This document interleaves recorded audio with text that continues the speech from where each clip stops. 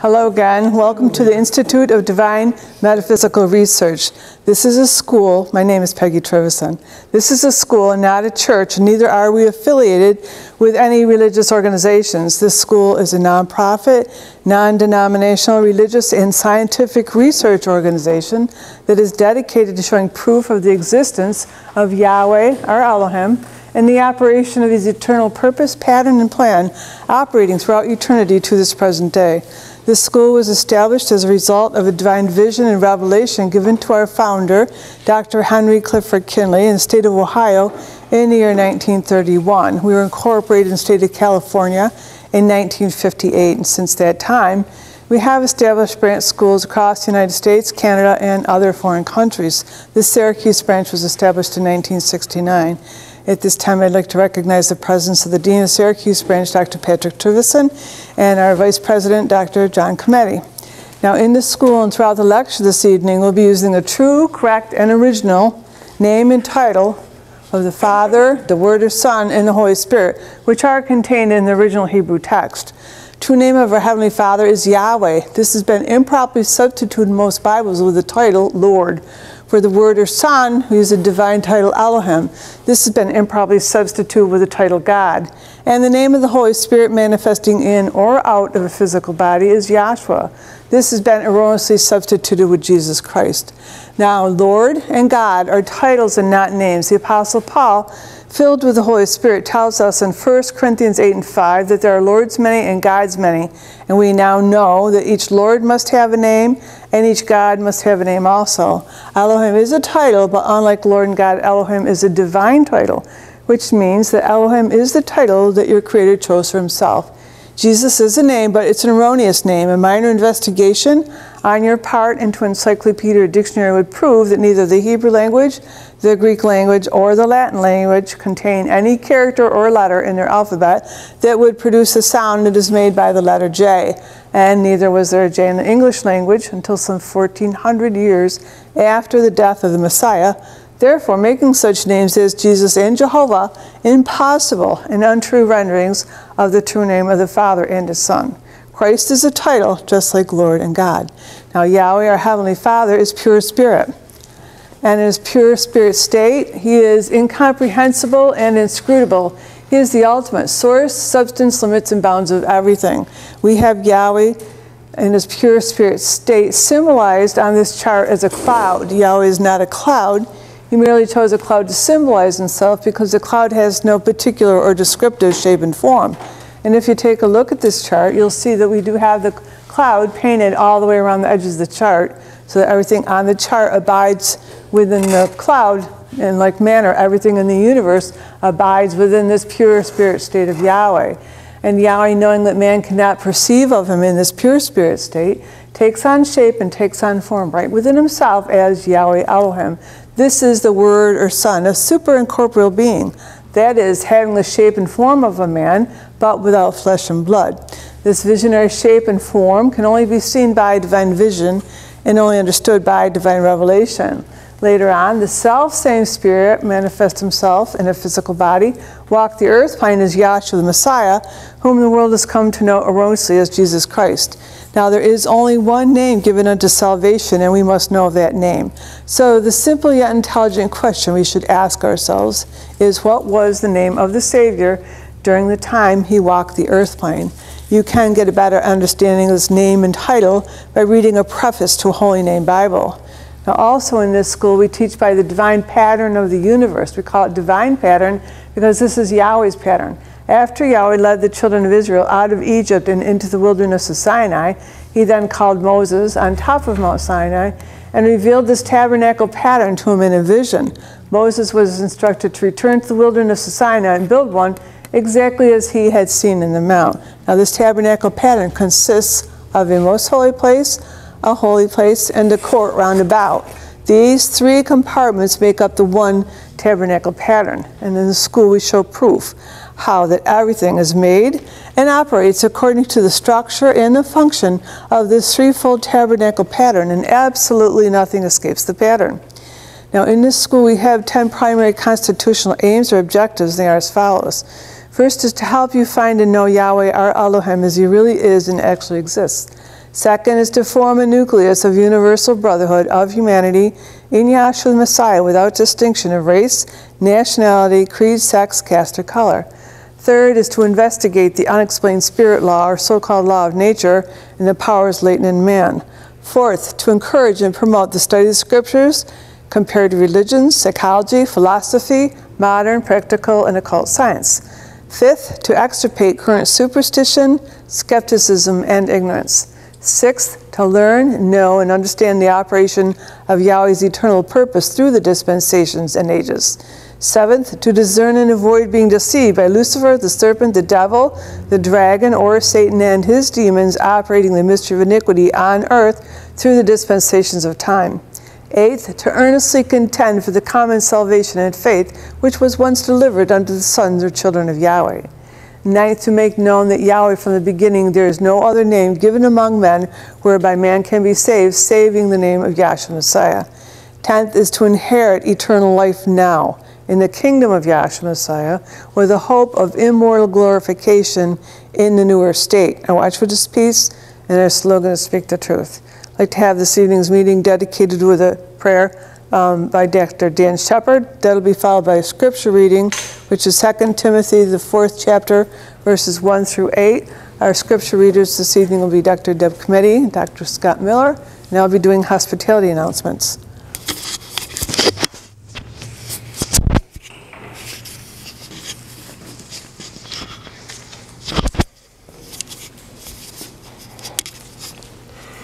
Let's all bow our hearts and minds.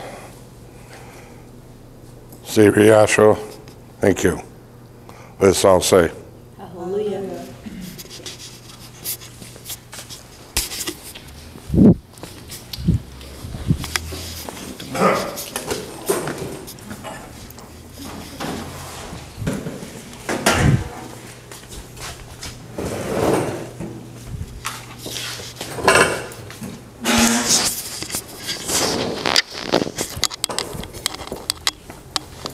Scripture reading tonight is 2 Timothy, the fourth chapter, verses 1 through 8.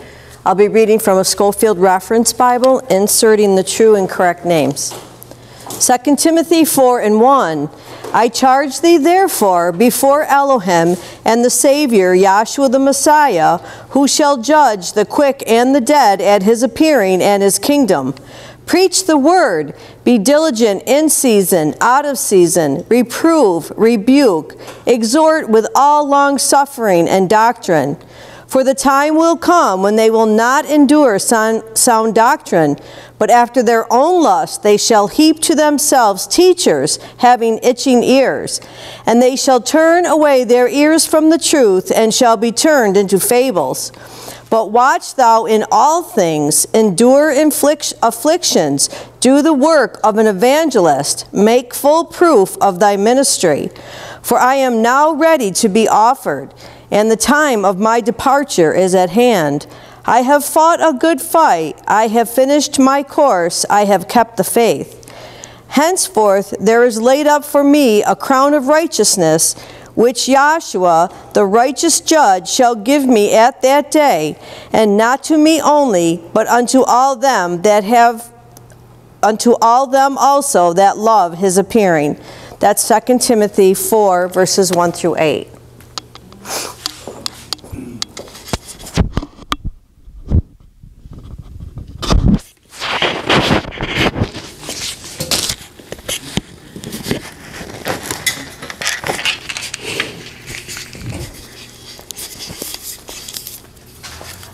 Want to welcome everyone that's here with us this evening and also our viewers in YouTube land. Appreciate everyone tuning in and being here. And uh, for our first speaker, I'd like to introduce uh, Dr. Juan Burton. I think I just listed the Okay, he wants to sit out. Okay.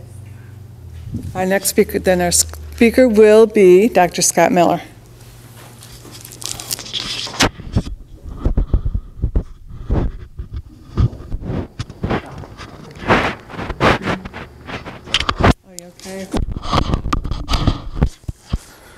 Um, we've been working with this for a couple Wednesdays. I thought I worked with it, but I looked back and I had not. so, um, So it's talking about sort of like towards the end, what's going to happen at the end, because this was written at the beginning of the age. And they could already see that people were departing from the faith at the beginning of the age, you know, because, you know, once Yahshua took off the flesh and, you know, he had a core group of people, you know, and over time, things just, you know, the mystery of iniquity waxed greater towards, you know, as things went on. And then uh, towards the end, he gets power too. And you're seeing that manifested now, how the end is declared from the beginning. Um, so, uh, why don't we read in the scripture there? You can just start there. 2 Timothy 4 and 1. I charge thee therefore before Elohim and our Savior Yahshua the Messiah, who shall judge the quick and the dead at his appearing and his kingdom. Right. So that's a lot right there. Who shall judge? So that's like future tense because they're still in the flesh. You know, and and they're talking about, you know, who shall judge, which is a future. You know, the quick, or those who are quickened, or that means made alive. The quick is short for quickened. And that means those who have received the Holy Spirit in the faith. But he's really judging everybody. That's the thing. That's one of the mysteries you've come to find out that really we're, we we're in the judgment because he's aware he's in all of us. Um, and he knows what everyone's thoughts are and he knows what everyone's going to do. So he's aware of what mysteries within you, influencing you because he's in charge of that stuff. He's the one who put them there. So go ahead. Preach the word, be diligent in season, out of season. Reprove, rebuke, exhort with all long suffering and doctrine. Right. So use doctrine, use you have the Bibles. you know. Um, what's the aim with the earnestly contend? Can we read that? I forget Um, what aim. This is the eighth aim, to earnestly contend for the common salvation and faith which was once delivered to the sons or children of Yahweh. Right, to earnestly contend.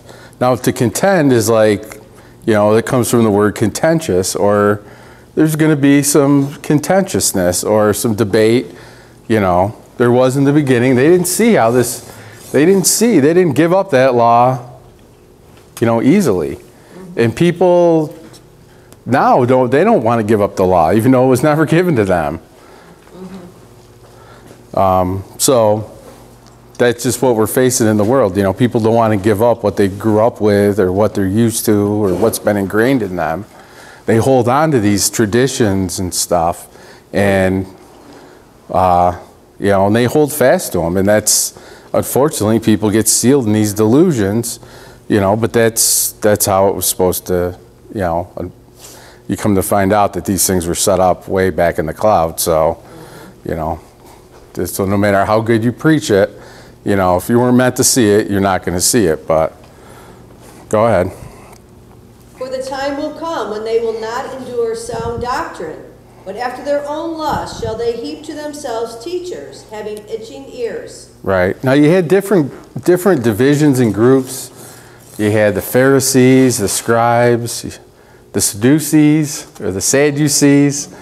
You know, and some of them didn't they didn't believe in the resurrection. They didn't believe what was being taught. They didn't believe what was you know, they didn't believe in the gospel. Um, and you know, of course people today aren't going to believe in the gospel.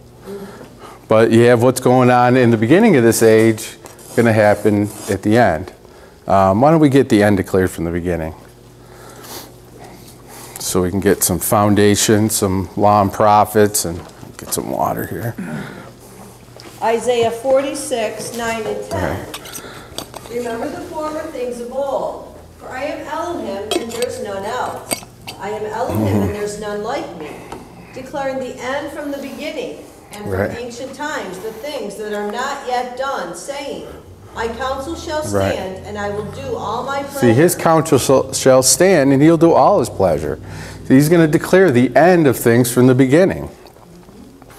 And we know he brought it in in fire, and he's going to take it out in fire.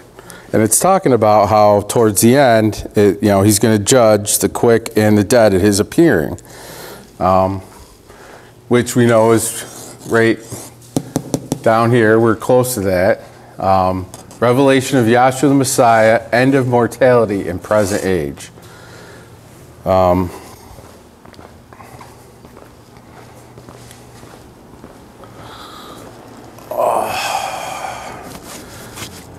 So you have to be translated into the kingdom. And you can't do that by works. We know that. And Yahshua has to make intercession for us. And you are baptized with the Holy Spirit. And that is done on the inside. See, all these things that were done on the outside, over here on this side of the cross, are really still being carried over, but in a spiritual sense. And that's what is so confusing to so many people, that they don't understand that these things are internal. Things that were never given to the, to the Gentiles are going to be internal things spiritually, so for Jew and Gentile alike. Um, Romans in the second chapter, too, where it says, where it talks about the Gentiles who have not the law. Is it Romans 2 28 maybe? Romans 2 20. Romans 2 and, let's see, 12. For as many as have sinned without law shall also perish without law, and as many as have sinned in the law shall be judged by the law. For not the hearers of the law are just before Elohim, but the doers of the law shall be justified. Mm. For when the Gentiles, who have not the law, Right. do by nature the things contained in the law, these having not the law are a law unto themselves. Right, so when the Gentiles, which have not the law, and Paul's saying they don't have the law, it was never given to us. And Doc used to say all the time that if you can show me in the Bible where the law applied to the Gentiles, he would like eat the buck. He would make that claim. And I don't ever remember hearing him eat in the Bible. You know, because he didn't have to, he knew that wasn't in, he knew what was in the book. So when the Gentiles, which have not the law, do by nature the things contained in the law, these having not the law are a law unto themselves. Go ahead, 15. Who show the work of the law written in their hearts, their conscience also bearing witness, and their thoughts the meanwhile accusing or Right. else excusing one another. Right, which show the work of the law written in their hearts. And that's the Gentiles being picked up. It's not just the Jews. We know that, that initially it was all about the Jews, and then seven years later, see, in seven years in Acts, the 10th chapter, you have the Gentiles being grafted in. So, go ahead. Read that again, And 15. Who show the work of the law written in their hearts, their conscience also bearing witness, and their thoughts the meanwhile accusing or else excusing one another. Mm-hmm. So they're- day, Right, so it's in their conscience, it's written in their hearts, and it's manifested in their conscience, also bearing witness, and their thoughts. So all these things are being, because it says somewhere, like bringing every thought into captivity. See, Yahshua, he's aware of good and bad, he's all our thoughts. Yahweh knows all every thought. And see, when you have the Holy Spirit, he's going to bring every thought into captivity, so you're thinking right about the thing. It's not that you're working up on it or choosing to do anything. That's just not how it works. Yahshua has to, you know, I'm not saying you can't study and learn stuff, you know, that's why we come to class, you know. Remember, the work of Elohim is to believe. And how he gets you to believe is he laid down witnesses. The law and the, that's why the law and the prophets are so important. So important. And that's why they're depicted as keys, because you know they're, they are key key things. If something's key, if you say something's key, that's like a, a, a word for that. Yeah, it's like oh that's key. That's important. Something key is very important. And see that's why they're laid down as keys. And there's also like a male and a, a male and a female too. Like Elohim was male. There's like a little little symbols here, like a male and then a female, because they go together. You know, just like the Jew and the Gentile go together as one, the head and the body go together, Yahshua and the bride go together. Elohim means plural, means male and female. And see, and the law reflects that, and that's why there's two little things there. I don't know when I noticed that, but it was some time ago. I've been thinking about that, how there's a male and a female symbol on them. I don't know if they're really small. I don't know if you could see them, but anyway. So these things are all, you know, we're broken down, and Yahweh, he's through time is is working the Jew and the Gentile, fulfilling the law, and bringing it all together down through the dispensation and ages. And he did it from he declaring the end from the beginning. And there's going to be a time shortly where it talked about in the scripture where he's going to judge the quick and the dead. And that's coming up. And that's why things are, you know, most people never even heard the term tsunami. And there's been like three of them with in the last like 10 years that's killed like hundreds of thousands. One killed like a couple hundred thousand people. A natural disaster in our life, uh, that it almost seems like, you know, they use the term, it's biblical, you know, in nature, but it really, these things are, you know, all the fires in California. They're saying that, you know, California used to have like a, a fire season. And we know the most holy place, you know, being in gold out in California, where the gold is on fire, you know, it's going to go out in fire, and that's mani- manifested in the most holy place out there. They're saying the fire season is essentially year round now. Where it used to be, I just saw someone give that testimony in Oceanside where, because you can hear from, you don't always hear that. There's so much stuff in the news now, you don't hear other little things, you know. We're being consumed by the Supreme Court nominee that's going on and all the contentiousness and the, the really comes down to the truth and the lie, you know. And there's been a lot of lies out there, just like now, but Yahshua's keeping us, he's keeping us in the ark, thankfully. You know, we're, you know, there's just small pockets of the truth through the country, and we have to hold fast because, you know, people are gonna, you know, depart from the faith. They're gonna give heed to seducing spirits, and that's like in, uh, like Timothy, First Timothy. But, um, what, we- what were we reading? I got off on a tangent. Um, The last, this two. Verse 16. In the day when Elohim shall judge the secrets of Mm-hmm. men by Yahshua the Messiah, according to my gospel. Right, in the day, that's, there's that day again when Yahweh shall judge the secrets of men. Which really, we're in the day of Yahweh, so that's a mystery because He knows all our secrets. So really, at that then, when He's judging, it's just going to manifest. What what is within you is going to manifest, and and it says we shall be. We read that not too long ago, where it says that we we shall be like Him. Yeah, when He appears. Where is that? Second Corinthians. Is that raised this? I know it says we be, should be changed.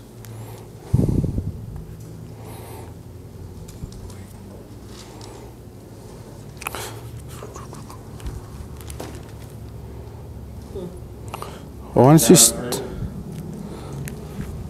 St- that sounds more like it might be. I didn't think of Corinthians talks. Let's let's stay and let's work with Corinthians in the fifth because it talks about manifesting at that end time what what it's going to be like, how quick it's going to be. What's the verse, Dan? First John, is that what you said? If you want. First John three one.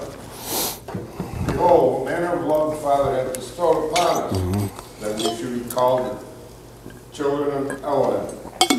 Therefore the world knoweth us not, hmm. because it knew him not. Beloved, Right. now are we the children of Elohim, and it doth not yet appear what we shall be. But we know that when he shall appear, we shall be like him. Right, there's that shall be again, just like in the scripture, that he shall, see, because that's coming up. And they knew that in the beginning of the age, that, that people were going to depart from the faith and, you know, heap to themselves teachers with itching ears, and you see that kind of thing going on. Now, there was the big, big separation over doctrine, and really, I pretty much thought that was going to be it. But you can see how there's more stuff going on even within, you know, what we call our camp, so to speak, doctrinally about predest. People are having a lot of hard time with predestination and choice and stuff. And I'm telling you, I'm not liking what I'm hearing in some of the classes. It's people aren't even using the word predestination, and they're going with choice. And choice, you might as well say free will. You know, they're leaning more towards a free will way of looking at things, and it's just not how Yahweh has it laid up, where He has everything under control. That's right. So go ahead, Dan. Can you just pick up that last verse where it says, "We shall be appearing"? Beloved,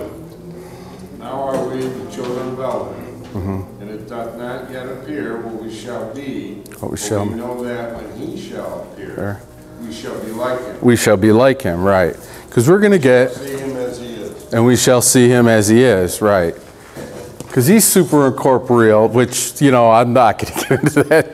that we're, it just says we shall be like Him. We're going to get, and it, and then Corinthians, it talks about um, first how Yahshua is the first fruits. Why don't you read in 15? I guess 15. It's a long chapter.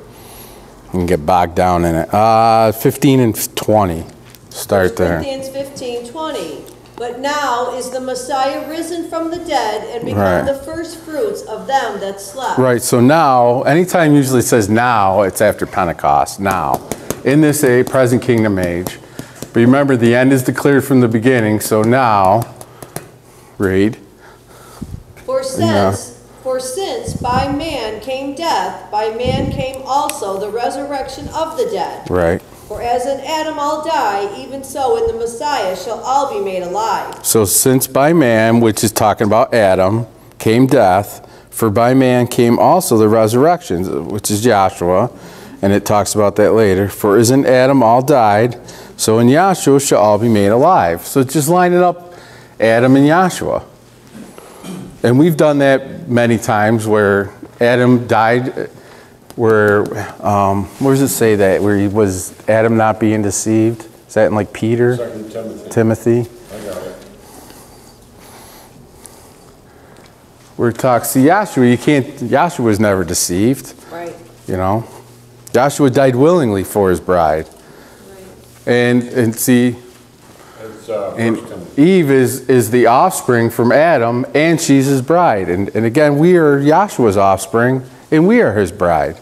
And so you can go right back to Adam and learn things about how Yahweh set that up, declaring the end from the beginning. So you're right back here in the garden, we can find out stuff about his purpose and how that stuff works. Do you have that? First 2. For Adam was first formed, then Eve. And Adam was not deceived, but the Right. woman, being deceived, was in the transgression. Right. Adam, see, not being, but the woman being deceived was in the transgression. She was deceived and she disobeyed. See, and Adam died willingly as a type to show that he was a type of Yahshua. So, and then Paul's picking up the same thing in Corinthians over here. That it was right back from the beginning, and he understands how, because he had the same vision as Dr. Kinley, as Moses, as John, all they all had this understanding. So that's really why the book's written in one author, and it has really, and you can say the end is declared from the beginning. And someone called it, it might have been Peg, looking unto Yahshua, the author and the finisher of our faith. See, he told Moses what to write. He's right here behind the scenes here, authoring things, telling him what to write. Because the things Moses wrote about, he wouldn't have any idea. He wasn't there. He wasn't there at his birth. How does Moses know he was drawn out of a basket with pitch? That was pitched like the ark. Or any of the little details that, you know, Moses wrote about in such vivid, because he saw these things in a vision, and it was seared in his memory, and he was told what to write. Um, do we have any more? What do we have holding out there? Uh, Fifteen, notwithstanding, no. she shall be saved in childbirth. Childbearing. If they continue in faith and love and holiness with sobriety. Right. Okay, um, let's go back to 1 Corinthians. 1 Corinthians 15 and 23. Now remember, in 20 it said how Yahshua now, he's the first fruits of them who had risen, which means that's going back. So remember he said in the scripture, he'll judge the quick and the dead.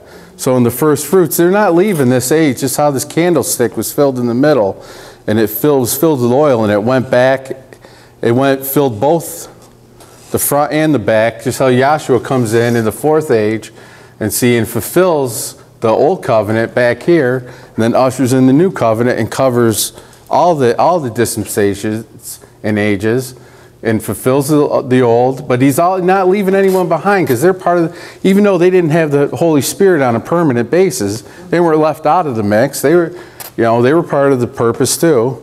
You know, and he says he's the first fruits of them that slept. So, and that's you know the quickened and the dead, those who were dead. Um, that was in our scripture. Go ahead in Corinthians. But every man in his own order, the Messiah, the firstfruits, afterward, they that are the Messiahs at his coming. Then cometh the end, when he shall have delivered up the kingdom to Elohim, Right. even the Father, when he shall have put down all rule and all authority Right. and Then power. cometh the end. Yeah, this is like, all right. So then cometh the end, and we have 1 Corinthians 15 53 on here too, which we're getting, that's, that's up, coming up. So keep going. Then come at the end. It's talking about the end. Read. 25, for he must reign till he hath put all enemies under his feet. The last enemy that shall be destroyed is death. For he hath put all things under his feet. But when he saith all things are put under him, it is manifest that he is accepted who did put all things And, under him. and that's cool because it's showing that Yahshua is the creator. And it's saying, you know, he's not just a man, a man's not put under him, as a physical man would be, but he's the creator and he's accepted from that because he's the one putting all things under his feet.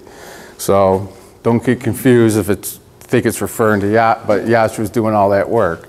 See? And he's going to wrap it up here at the end and he's gathering together. And, and we're going to go on in ages.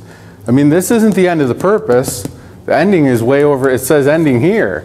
See, we're just we're just getting started. I used to think that like when you when you died, like you know, you just went to heaven and whatever thing you like to do, whether it was golf or you know, I always say I never played golf, so I thought I'd be bored in heaven. I didn't, you know, everyone's playing golf on their favorite golf course and you know, and then that was it. You just golfed or something and then you didn't do anything else.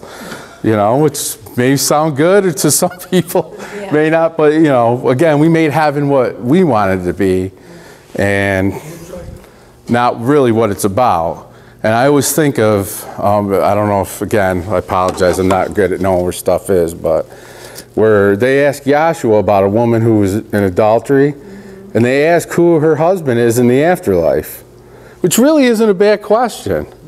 You know, technically, because they're trying to trip him up because, you know, you know, but they didn't, they didn't have an answer, and most people, you know, so who's who's your? If she had a couple husbands, or maybe it wasn't even like adultery. Maybe it was just like he, he died and she remarried. I can't remember the specific. She kept dying, she kept marrying. Yeah, she got married. Yeah, yeah. So they're wondering, like, okay, so who's her husband then? Is her husband's died, and then she married a couple other ones, and and then Yahshua has an answer. f-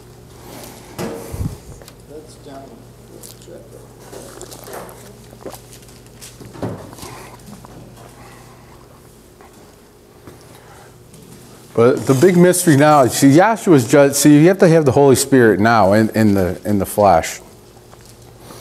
And without it, you're being you're you're being judged either way, you know. And then in that day, it, it's going to be revealed who's in the bride, and, and it talks about until he hath put all things under his feet. But the things he's putting under his feet are Satan and, and, and his demons and all the souls that were going to go to the second death. You want that? Yeah, yeah. Or if you- Matthew uh, 22, 23. Same day came to him the Sad- Sadducees, who said that there's no resurrection, and asked him, saying, right, and I meant to say they're one of the, they didn't even believe in the resurrection, so go ahead. 24, saying, Master, Moses said, if a man die having no children, his brother shall marry his wife, and raise up seed unto his brother.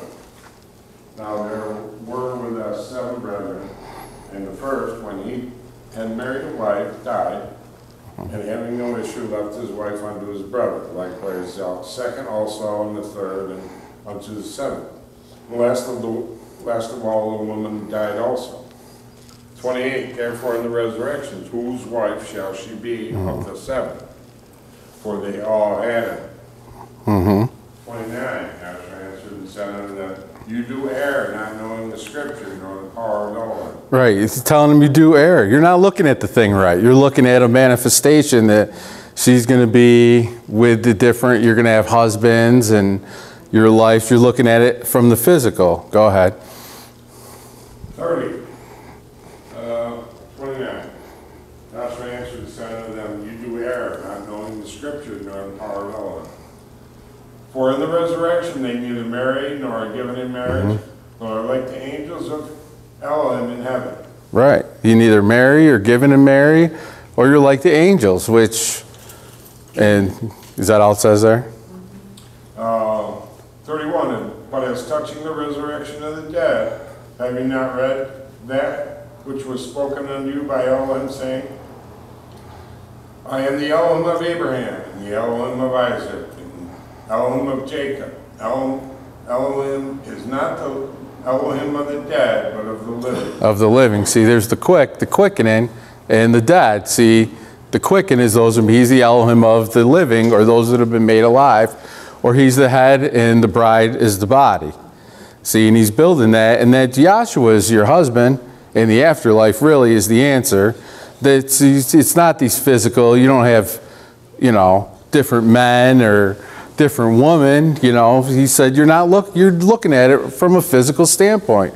From a spiritual standpoint, Yahshua is our bride. Yahshua is our husband. We're the bride. I'm tired. Sorry, I just got off at 4:30 or five, around five. so on my schedule. But anyway, so, you know, we're the bride, Yahshua's the husband. And see, that's who, you know, and it's not about a physical, you're not male or female, and it says that too in the book. Paul explains how you're not male nor female, nor bond nor free, but we are one in Yahshua. I don't know if anyone knows where that is, because that's a good scripture. What is it?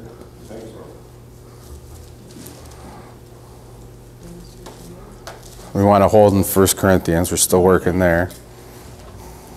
Uh, 26, Galatians 3:26. Galatians 3 and 26. For ye all the children of Elohim by Mm-hmm. faith in the Messiah Yahshua.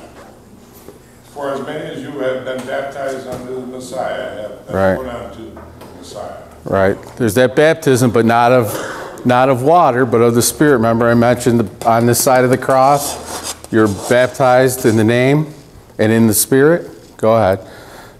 28, for there is neither Jew nor Greek, Right? neither bond nor free, there is neither male nor Or female. There's neither Jew nor Greek, which is that's what a Jew or Gentile. That's what he broke down the whole world as. You're either Jew or Gentile. And there's neither bond nor free. Bond is like you're bonded or you're in you're in bondage or you're a slave or you're a free person. Because that's back then they looked at, you know, people were in slavery, people were free. Go ahead.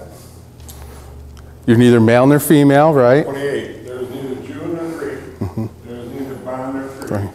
there is neither male nor Female. Male nor female. There's neither male nor female. Mm-hmm. Who knew that? I didn't know. Didn't you think like, don't you think of like in the afterlife, did you think you weren't a sex? Did you ever think you weren't going to be male or female? If you were male, did you think you weren't going to be male in the afterlife? Not pretty much everyone. who gave you that idea? Where'd that come from? The mystery of iniquity? That's not, you know. See, you were not going to marry and given in marriage, and because you're not male or female. See, and he, Paul's looking beyond the flesh in Galatians there. He's looking beyond the flesh and what's what is on the other side, and what's what we're married to. You know, what we're working, what us and Yahshua, that marriage there, isn't isn't these things like it is in the physical. It's different. This is so the truth is so much different than you ever conceived. You know. Um, For we are all one in the Right. Messiah Yahshua. We're all one in Yahshua the Messiah. And that's what it says in like Ephesians. Why don't we get that and hold, hold in Corinthians? That he's going to gather together in one. And again, all these are all, when he's gathered, he's been gathering since the beginning. Ephesians 1 and 9. having made known unto us the mystery of his mm-hmm. will, mm-hmm. according to his good pleasure, which he hath purposed in himself. in Just like it said in Isaiah, we read, you know, his purpose, his counsel shall stand. Read. that in the dispensation of the fullness of mm-hmm. times, he might gather together in one all Right. things in the Messiah. Right, that's another way of saying, what, what are we reading? Colossians? Ephe- Colossians? Ephesians? So I'm thinking it's got to be up here because it's talking exactly Ephesians, there's two, 19 and 22. What is this, Ephesians One This is, but it's talking about the end. That's my point. It's talking about the universal revelation. That's what we're talking about, the, the upcoming universal revelation of Yahshua, where it's what is going to manifest is what's been within us this whole time. Okay, go ahead, Deb. That in the dispensation of the fullness of times, he might gather together in one Right. all things in the Messiah, Uh, both which are in heaven right. and which are on earth. which are on earth. So he's talking about, you know, the things that are in the earth, the physical elements. You know, we talked about how he's going to gather together. He's going to roll them up like a scroll. And when he takes this thing out, it's going to happen quick. And that's where we are in Corinthians, where it's, it happens quick, like in a moment, in a twinkling of an eye. Dan? Might want to have it go over to two nineteen and twenty. Okay. So it's up here. Ephesians 2:19 and 20, 19 through 22. Then, then it says 3, 14, and 15, if you want to get that too. Ephesians 2:19. Now therefore ye are no more strangers Mm-hmm. and sojourners, but fellow citizens with the sons and of the Right. household of Elohim. Right? And are built upon the foundation of the apostles and prophets, Yahshua the Messiah himself being the chief cornerstone, in whom all the building fitly framed together. That's another way of looking how he's, he's building that body. And he does it through the symbolism of building um, the temple, which is really a, a cool, another aspect of building that body or building that he's gathering together. Like every stone was hewed outside of that building and, and made to a specific size and fit right within. That's how every person, we're like a, every, a different stone that he chips away at on the inside. You can't see it, you know. You, you know, our coworkers, our friends, our family that aren't in class, they, they can't always see everything that we're thinking about and what's been worked on and chipped away at on the inside. You know, but see, that's, that's what will be revealed. People will see that in that day. But, okay, go ahead if there's more there. In whom all the building fitly Mm-hmm. framed together grows unto a holy temple in Yahshua, Right. in whom ye also are built together for a habitation of Elohim through the Right. Spirit. And that's why that was up here in Canaan's land, like in the type of, in the promised land, in the type of heaven. It wasn't this temple that was fit, it was this permanent one symbolizing the new covenant. It had to be built in, up here in Canaan's land because it's symbolizing like, you know, that building or that bride and all the different aspects being fit together and gathered and, you know, up to that day here. Go ahead. Uh, and then if, Ephesians 3 and 14. For this cause I bow my knees unto the Father of our Savior Yahshua the mm-hmm. Messiah, of whom the whole family in heaven and mm-hmm. earth is Right. named, that he would grant you according to the riches of his glory to be strengthened with might by his Spirit in the inner man. Right. Strengthen that inner man or the soul. Um, let's go back. Is that it? Or is there? All right, let's go to Corinthians. We could run all the scriptures here and the, going into them, but I didn't really want to totally do that. See, I think we were like in 20, 20 you want to pick it up in 24? 24. Then cometh the end, when he shall have delivered up the Mm-hmm. kingdom to Elohim, even the Father, And then cometh the end. The end of what? You know, here he's talking about the end, the end of the physical creation. We already read it where yeah, there's going to be a time where Yahshua is going to gather together in one things in heaven and in earth, and we're and move them into the next day. It's not completing everything. Like uh, you know, I thought that when you when they died, or if there was an end, that that was that was just the end. You know, and then you were floated around in space. You know, but no, the Yahweh has you know a purpose for us, and we're going to go on in the ages to come. You know, learning about His love and kindness and about His purpose. You know, and that's exciting. You know, that is. You know. Um, okay, let's finish this up in Corinthians. He shall have put down all rule and all authority and power, Mm-hmm. for he till he hath put all enemies under his feet. Right.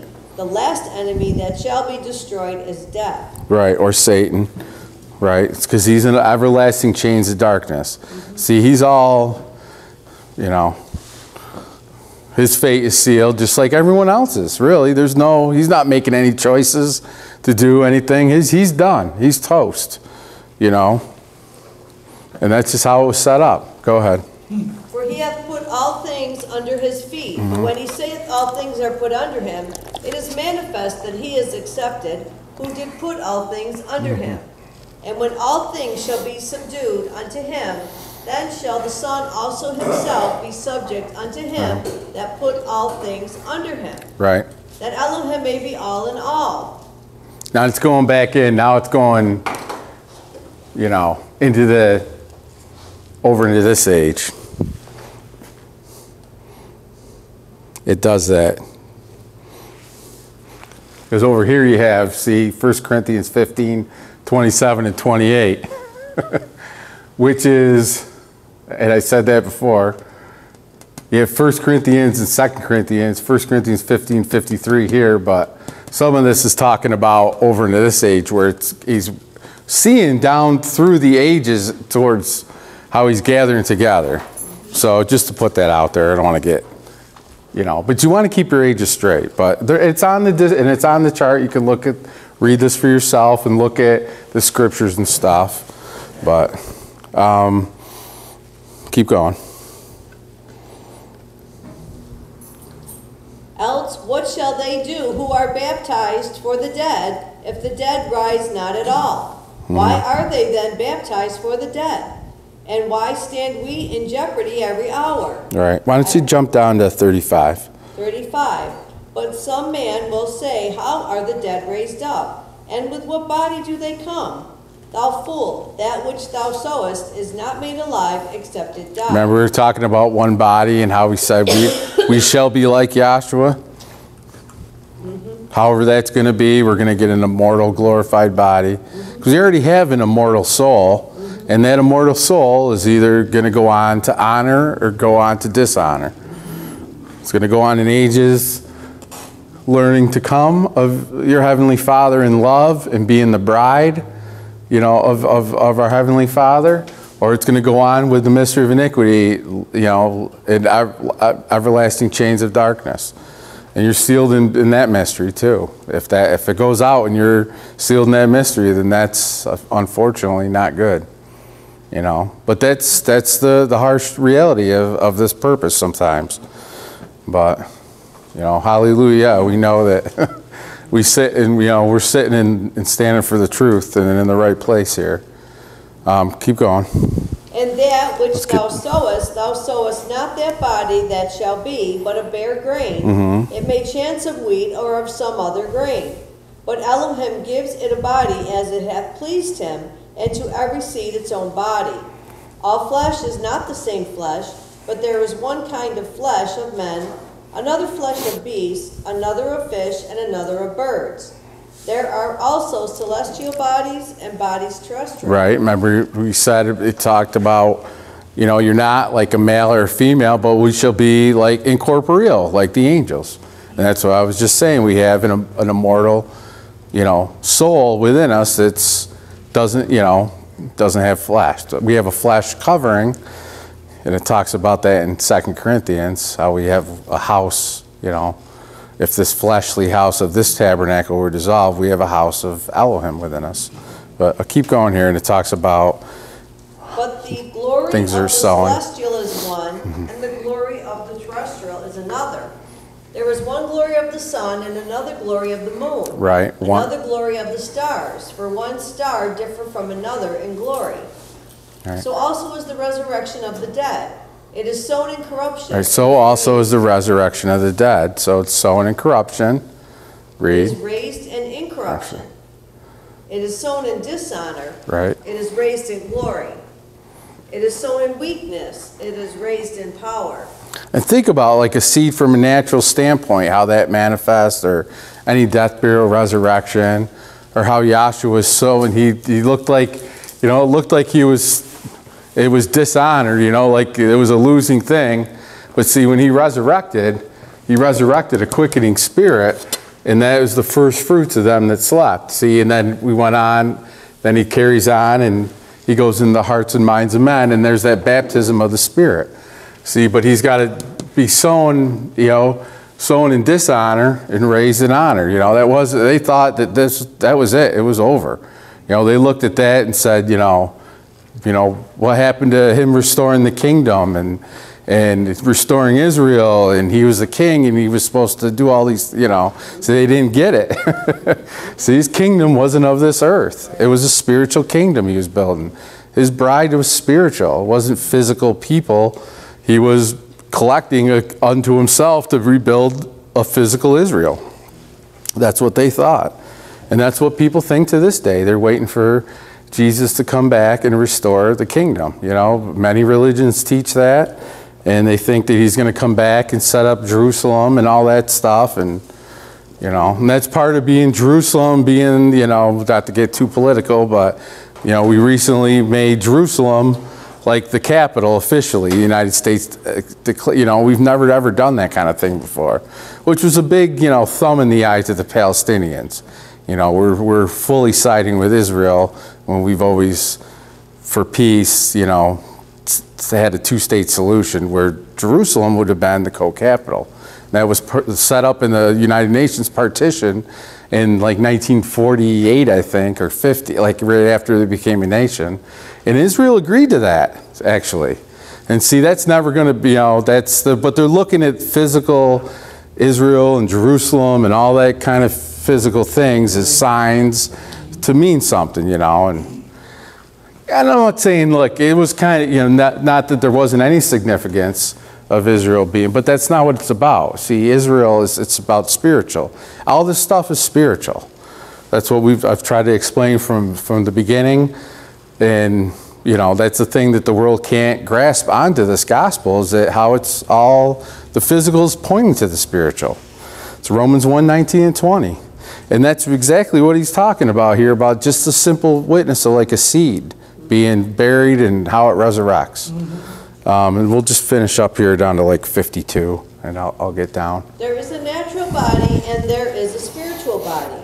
And so it is written, the first man, Adam, was made a living soul. The last Adam was made a life-giving Right. or quickening spirit. And there's lining up to Adam again, where you can look at the purpose right from the beginning of Adam being a type of Yahshua. That first man, Adam, was made a living soul, and the second man, Adam, which is Yahshua, was made a quickening spirit. Read. However, that was not first which is spiritual, but that which is natural. Right. And afterward that which is spiritual. See, the physical had to be first, and then the spiritual. Go ahead. The first man is of the earth, earthy. Mm-hmm. The second man is Yahshua from heaven. The second man is Yahshua from heaven. The second man, it's second, it doesn't say the second man is Yahshua from Mary and Joseph. The second man is Yahshua from heaven. Go ahead. As is the earthy, such are they also that are earthy. Mm-hmm. And as is the heavenly, such are they also that are heavenly. And as we have borne the image of the earthy, we shall also bear the image of the heavenly. Right. Now this I say, brother. Now, this I say, brother. Now, next time the Jehovah's Witnesses are at your door, you tell them this scripture. they don't know how to answer it. Go ahead, read. The flesh and blood cannot inherit the kingdom of Elohim. The flesh and blood cannot inherit the kingdom of Elohim. See, if the world did, who knew that was in the Bible? That's been in our Bibles. That's it's not a special Bible. That's in everybody's Bible. That's in the Jehovah's Witness Bible. They'll read if you call scriptures. They'll read them out loud to you. I've had them do it. You call, tell them about you know because they have a kingdom on earth that's physical. You know where you're petting lions and all the bad people are gone and they're in somewhere else and I guess they have hell too. But you know, but the kingdom is on is a physical kingdom on earth. You know, it's everything opposite of what the scriptures say. Go ahead. Fifty. Neither doth corruption inherit incorruption. Behold, I show you a mystery. Right. See, this is a mystery. I show you a mystery. Read. We shall not all sleep, but we shall all be changed. Right. In a moment, in the twinkling of an eye, at the last trump. Right, in a moment, in the twinkling of an eye, at the last, trump. what are the chances at the last that our president would be named Trump? The last Trump. Who knows? Could be telling us something. the last Trump, right in the, right in the book. The moment, the twinkling eye, we're talking about right here at the end. The last Trump. Is that it? For the trumpet Trump. shall sound, and the dead shall be raised incorruptible, and we shall Yeah, be changed. Right, and we shall be changed. And that's it, we shall be changed. And we'll go on in the ages yet to come, learning about our Heavenly Father. So with that, I'll take my seat. I hope somebody was edified by that, and all praises to Yahshua. Thanks.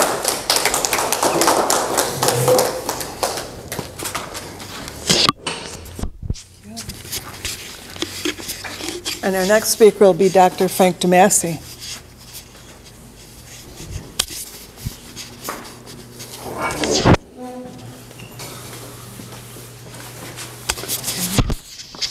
Good evening, class. Picking on the jailers tonight. That's all right. Anytime you can stand before and testify this beautiful gospel, it's nothing but a blessing. You know, uh, if we ever, my, my main prayer is that I really come to complete 100% acknowledgement of how blessed I am that I've been able to understand and see the purpose of my Creator. I know that sounds like a bold statement. I'm not trying to be. But truth comes with witnesses. Dr. Kinley said, you don't, you don't have any choice of joining or, or choosing your salvation, the same as you didn't have any choice of how you came in in your own family. You had no choice. Either you were predestined to see this or to be born into, into Yahshua's body or you're not. Like so many things that this flesh and our backgrounds we try not to bring with us, but we do because of our, our backgrounds. Judgment. I would think, when I was a kid, I would think that there's just going to be this long line uh, of people waiting and a, a judge in a, in a, with a big hammer and, and either reject or deny, and you have to come an accountant for what you've done. And that's not what the deal is. See,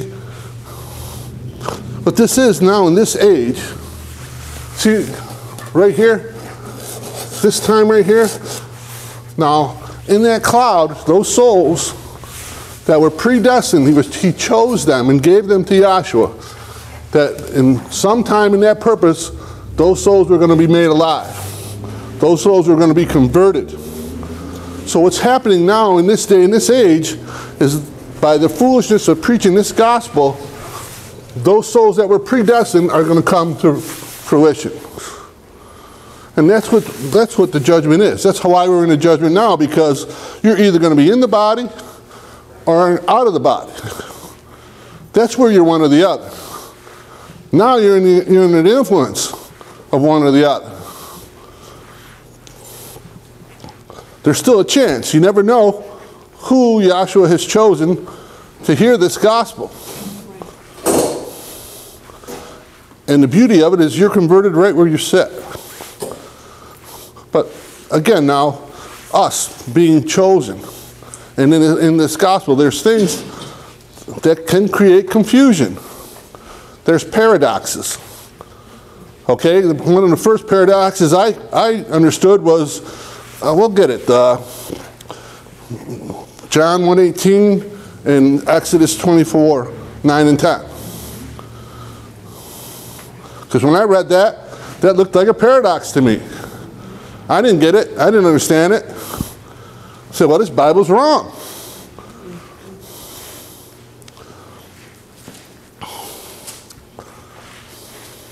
Which one? I don't care, either or. Uh, John 1 and 18. No man has seen God at any time. Uh, Exodus 24 and 9. Then went up Moses, Aaron, Nadab, and Abihu, and seventy of the elders of Israel. And they saw the God of Israel. Okay, so now you, 73 people saw, 74 people saw God. Nobody's seen God. Now, before we, any of us walked through that door and sat before this gospel, that was a paradox that we could not continue to understand in our minds. We just thought there was a misprint or something's wrong. But if you take it in context, if you, that's what a paradox, you have to take it in context of, of the meaning and the semantics of how you, you understand and think words are. Well, I didn't understand the meaning of a name or the importance of a name until you came through that door and you sat down. Then all of a sudden, wow, the name's important. I, I kind of, it, it, it made so much sense.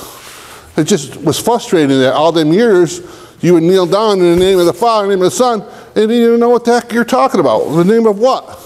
Our Father. How many Our Fathers did I have to say? Our Father, who art in heaven, hallowed be thy name. I never caught it.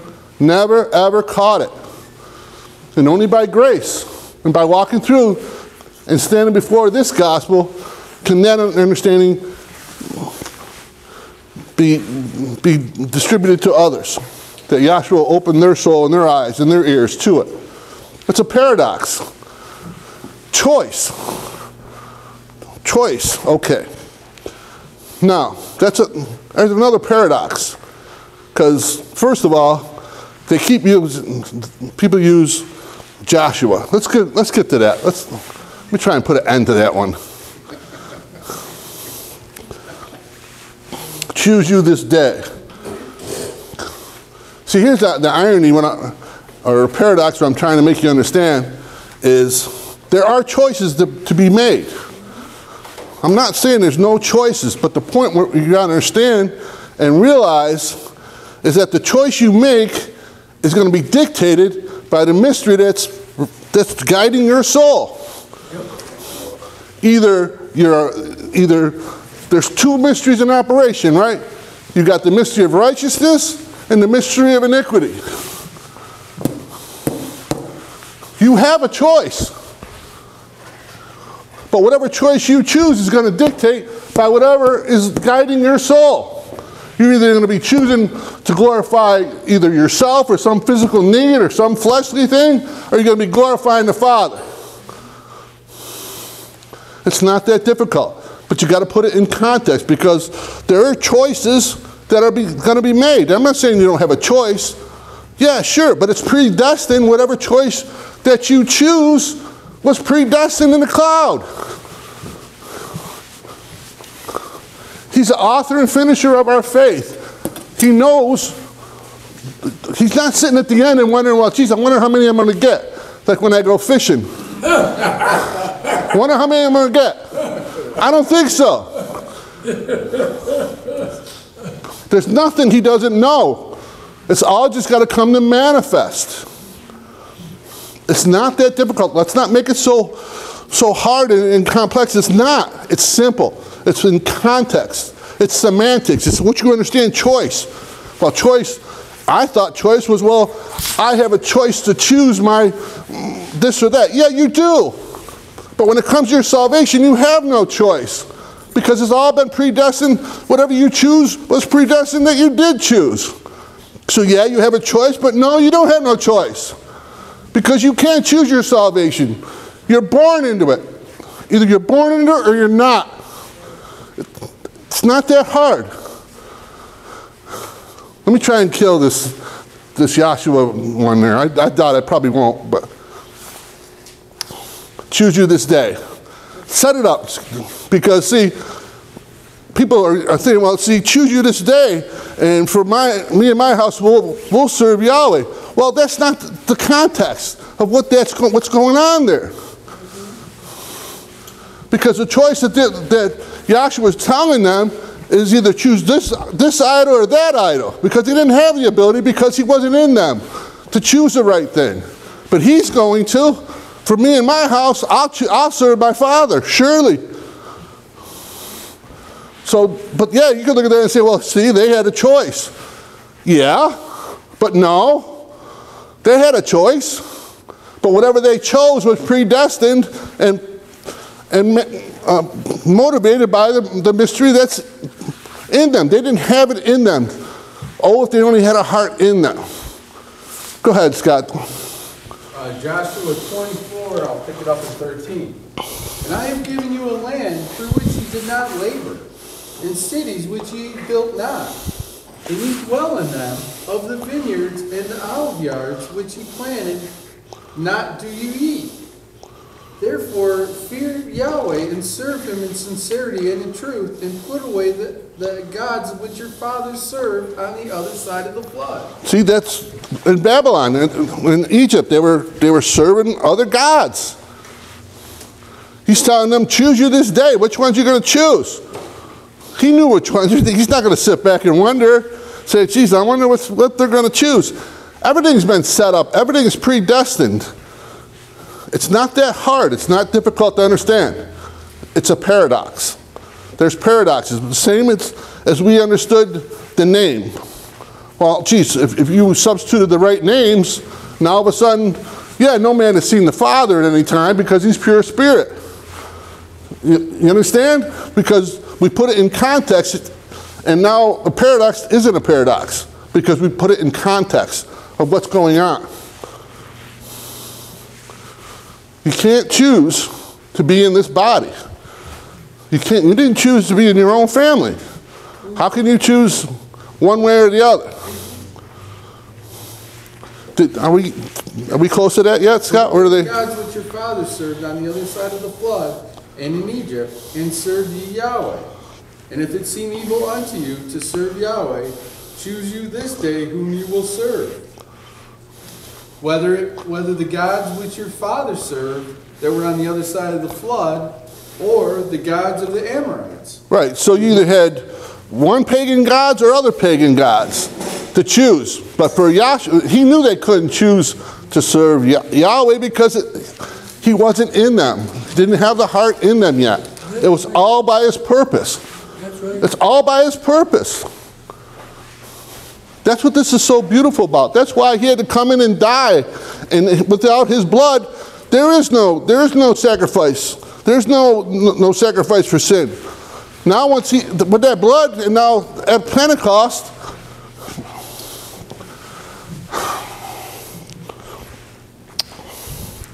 it's a beautiful love story. It's something that that once you start to see it and understand it, it just leaves you breathless. You stand back in, in, in awe and, want, and know what you're dealing with, the kind of intelligence. Free will. What free will could you have? Because, yeah, I mean, people want to think, well, I, I, I can choose uh, what I want to eat. Well, yeah, Yahweh don't care about, he's giving you that you want to put that little latitude to, to choose that. But when it comes to your soul salvation, you don't have no choice. So does that mean that you can't admonish folks and say, well, you know, you should do this or you should do that? No, you should. That's what Paul did. He admonished them. He said, hey, you know, we're struggling. The flesh. You know, do this and, and try and do that. That's nothing wrong with that. But that's not saying that you have the power to, to choose it from within yourself. Whatever mystery is in you is that's what you're going to choose, and that's what you're going to do. And one's going to glory the Father, and the other's going to glorify himself. Did I got anything hanging? I don't think I did anything with that Joshua one. I just can't. I can't overcome that one. But uh, choose you this day. I tried. I think I, I tried to do make you understand. You know, they're using it as a idea that well, look at they chose. To, they could choose. They could choose to serve Yahweh. Want to read 19? Sure. 19, okay, this is just your 24. I want to put it in context. That's my point. I want to put it in context so they understand what's on that page. Because it's not they're choosing Yahweh or they're choosing other gods. It's either They're choosing one pagan god or another pagan god. 19 says you can't serve Yahweh. No, they can't because they don't have a heart in them. That's how it is, or there'd be no, no need for him to come in and die and start a new covenant. If, uh, go ahead, trying to, Joshua 24, 19. And Joshua said unto the people, You cannot serve Yahweh, for he is a holy El. He is a jealous El. He will not forgive your transgressions nor your sins. Yeah. you know, he's going to get the glory. Every knee is going to bow one way or another. We have to understand and realize just how blessed we are and how prevalent in, in, in the magnitude of what this class represents in this creation and what the school represents. You know, think about it. In September, when they had the September 11th thing, that devastated the whole world with the, with the, the Twin Towers. Nobody understood it. Why would someone do something like that?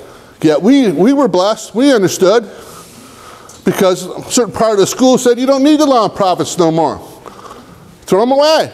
They're no good. Let's get above that. Look what happened. Why would, why is there murders in schools? Why? Never think of, never happened in, in our, my childhood. Never dreamed of, of coming to school and worrying about getting killed, getting shot, getting murdered. Why? Because that's what, that's what, what what's going on in this school. You got to understand, this is the only source of truth there is in the universe. This is it.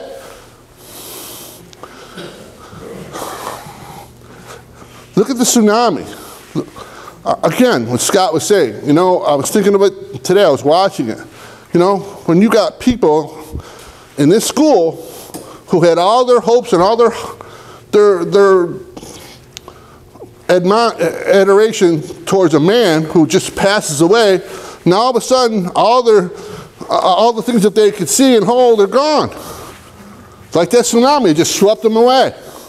What are they going to do?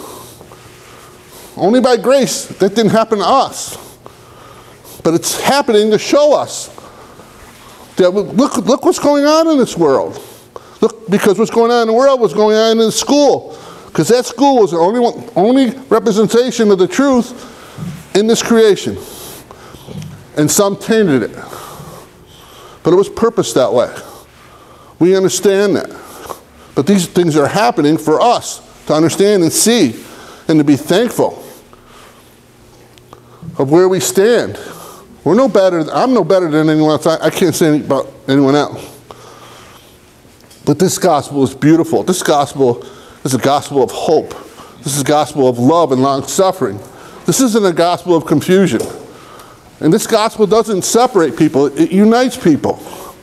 It's not going to separate us. There's- There's no other camp. If you're if you're under that name of Yahshua Messiah and he's in you, then you could sit down and we could talk about things. And if you're wrong, you can admit it. And say, yeah, you know I was wrong about that. And move on. And just all your all your only hope and desire is is to be glorify your Father. Does that mean that because you know uh, we're under that name, we're not going to make mistakes? Sure, we're going to make mistakes. But the thing, the difference between the two mysteries is our conscience is going to be pricked. It's, it's going to bother us. It's, oh man, we shouldn't, I shouldn't have done. No, I shouldn't have done that. And yet, the other mystery, not going to bother him at all. Not going to bother him in the least. He's in control of everything. And we need to understand and realize how blessed we are to stand before this gospel. And the responsibility to lay our lives down, our love down for our fellow man. It's not here. Here is okay, and especially now with YouTube. But it's out in the world. When you, our families, and we've all probably all been through our own families trying to, but anyone else, any other opportunity you have to represent this gospel, that's that's what you're that's the purpose of this. That's why he started a school, was to create what? Ministers. So by the preaching of the gospel, by the hearing, he controls your hearing. He knows your thoughts. He puts them in there before you think them.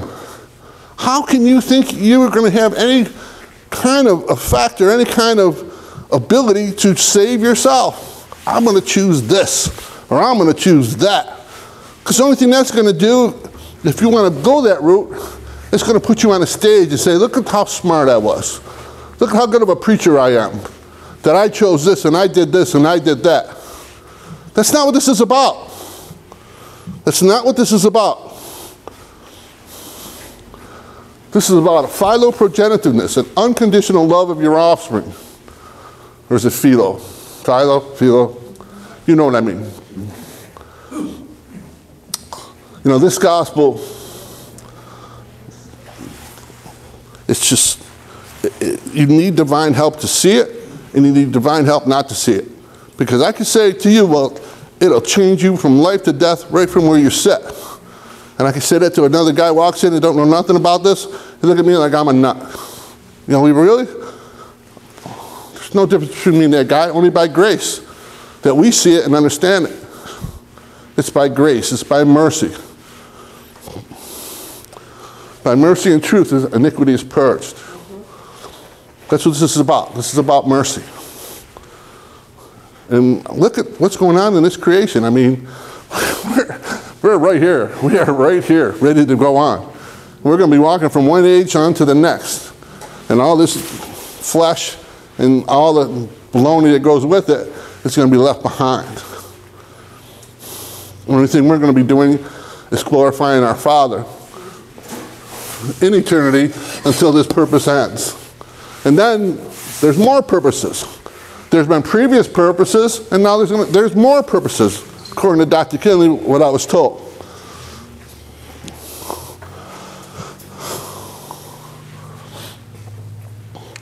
Simplicity, witnesses, proof. Don't believe anybody, don't honor any man. It's not about any man, it's about the penny. That's why my, my parable of the penny is so beautiful. I love that because no matter how little I know, and however much anyone that I, want, I, can, I perceive as knowledgeable knows, his penny is no more valuable than my penny. The whole thing is about getting the penny. It's about standing for the truth. So I just hope someone, I tried to clear some of the confusion because I, I, I see it, you know, uh, it's, it's semantics. It's, it's people having ideas of a word, associating it with a word, and, and not trying to be flexible about it.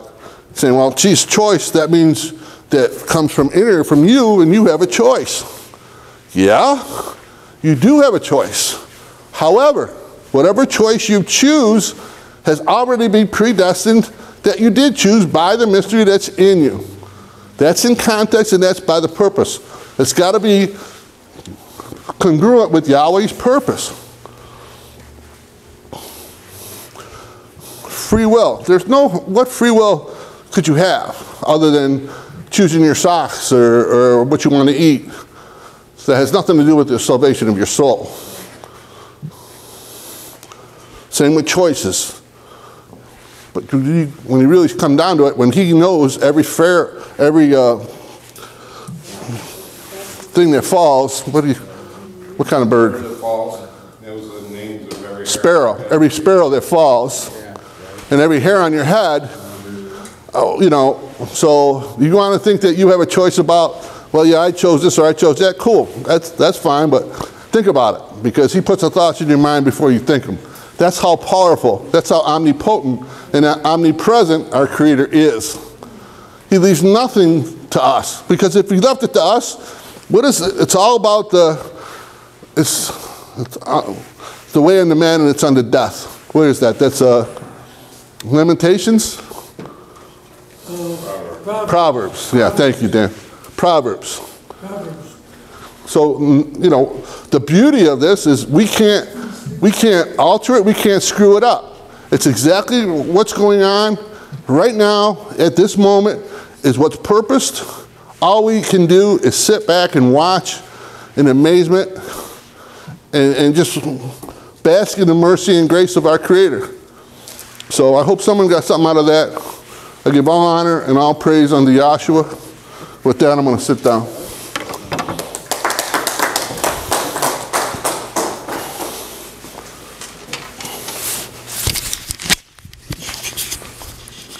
Next speaker will be the Dean of the Syracuse Branch, Dr. Patrick Trevison.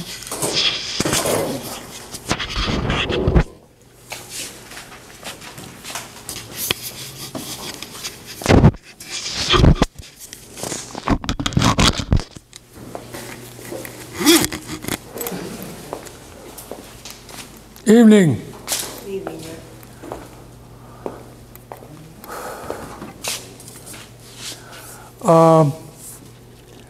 Can we go to Revelation, 12th chapter, and uh, just start reading about 13? Revelation 12 and 13. And when the dragon saw that he was cast unto the earth, he persecuted the woman who brought forth the male child. So the dragon sees that he's cast to the earth. So he starts to persecute the woman. Now, the woman that he's, we got to find out what woman is being talked about here. Be patient with me, I'm a tiny bit dizzy, okay? So go to the first verse. Revelation 12 and 1. And there appeared a great wonder in heaven. So there's a great wonder in heaven. Now, this is part of his vision, John on the Isle of Patmos, and more importantly, his revelation. This is his revelation. The whole book of Revelation here. The whole letter of Revelation. This is his revelation. This is part of it. So he's seeing this wonder, he's seeing this, okay? Go ahead. There appeared a great wonder in heaven, a woman clothed with the sun. So he sees a woman clothed with the sun. Now, we point this out all the time. There's a woman clothed in the sun here. As they're in Jerusalem on the day of Pentecost, there's a woman clothed in the sun. Now, that's symbolic, and they're the physical manifestation, but they have the cloven tongues of fire over their head. So they make up that bride or that woman, or they are the physical manifestation, but they're the woman clothed in the sun. They're clothed in the spiritual sun. Do you understand? They're clothed in those tongues of fire, but they're clothed in the they're clothed in Yahshua because they're receiving the Holy Spirit on the day of Pentecost. It's painted over here. Here's a woman. She's clothed in the sun. It's painted that way to show you how, see, we use the tabernacle.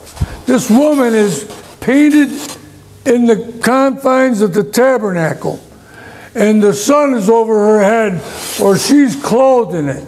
But this sun is showing you, pointing out Yahshua.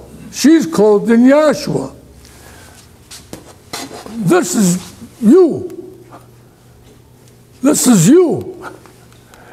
And this is Adam and Abraham and Moses and all of them, all the way up, that received the Holy Spirit on the day of Pentecost. It's all of them. And the angelic, every, all of them that constitute the woman clothed in the sun. That's what it's talking about here that John saw. That woman clothed in the sun. It's a remarkable thing. Okay? It's not talking about aliens here. It's not ta- talking about anything weird. The woman is New Jerusalem. It's the assembly. You can there, there's a lot of different ways you can phrase it, but that's what it is. Now go back down to the 13th verse, please, if you would. And when the dragon saw that he was cast unto the earth, So now the, you got to read the whole chapter, okay? Uh, but there's a war in heaven, and the devil gets cast into the earth because he loses the war. Because the lie basically is, has a war against the truth. And the truth is always going to defeat the lie. Doesn't seem like it a lot of times. A lot of times it does not seem like it. For instance, when they had Yahshua on this cross,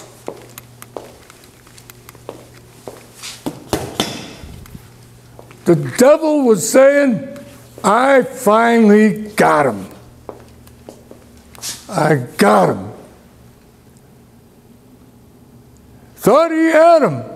It looked like the truth was finally being overcome by the lie. Not realizing, do you understand?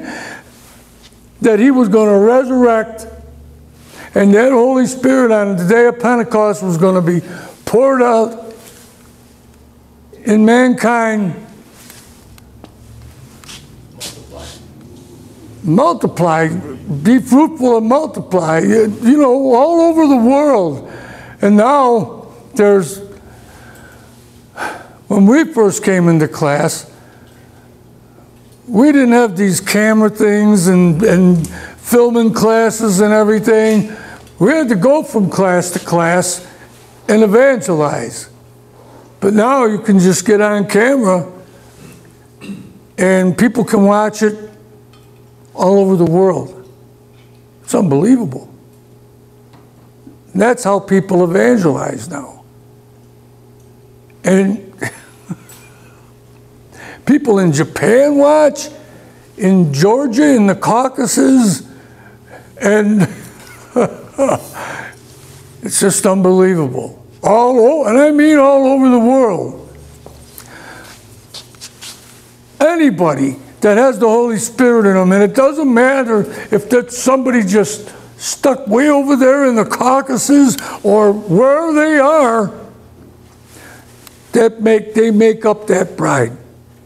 Make up that bride. Now, start again in 13 here. I know I keep interrupting you. When the dragon saw that he was cast onto the earth, Yes. he persecuted the woman who brought forth the male child. He, look, he's mad. He's mad. He's got an attitude. Hmm. and he persecutes the woman. So, here you have her painted here on the day of Pentecost, and here they are in the upper room. This and this are the same thing, right here. Now, here's another picture of the woman clothed in the sun. And what do you got right next to her? That's the dragon. That's the devil. And what's he doing? He's persecuting that woman clothed in the sun. He's persecuting that woman. Mm-hmm. That's what he's doing. Mm-hmm. And that's just a picture to, to give you the idea of what we're talking about. But that's not what the devil looks like. He does not look like a dragon. Mm-hmm. He does not look the way Hollywood portrays him. He's actually a beautiful angelic creature. And he's actually very good at deception. That's his job. So go ahead and read that, please. And to the woman were given two wings of a great eagle. Mm -hmm. the law and the prophets. The law and the prophets. Read. That she might fly into the wilderness, Into the wilderness, into her place, into her place, where she nourished for a time and time and times and half and half a time. Now that's time, times, and half time. That's three and a half. Yahshua's ministry ministry was three and a half years. Okay, so he's teaching his disciples and the people, or the, the bride, the future bride, for three and a half years. Okay, and the devil is persecuting them all that time, right? Right to the point where he's got him up on that cross. right to the time, and look, Peter's denying him. They get scared, they scatter. They're, look, but once that Holy Spirit is poured out in them, there's a change they undergo. They are different people, totally different people. There's a change that takes place. There's a conversion that takes place within them. Totally different now. They're not the same anymore. Not the same. Read, please. And the serpent cast out of his mouth water like a flood after Now he cast, he cast, see, he cast water like a flood at the woman. Now, people have been up here talking about these tsunamis tonight. And this latest tsunami was, wasn't as bad as the last one there in Indonesia. Killed a whole bunch of people, okay? Not only in Indonesia, but other places too. And this just, it was 20 feet high, that water. It just wiped out everything in its path. I mean, just wiped out. You've seen the pictures on the news. Houses, the whole city of Palu gone.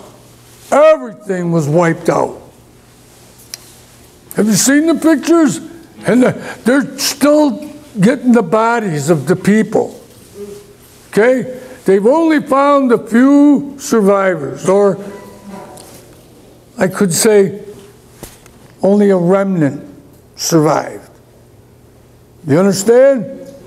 Just as there was a remnant in this ark, in that flood.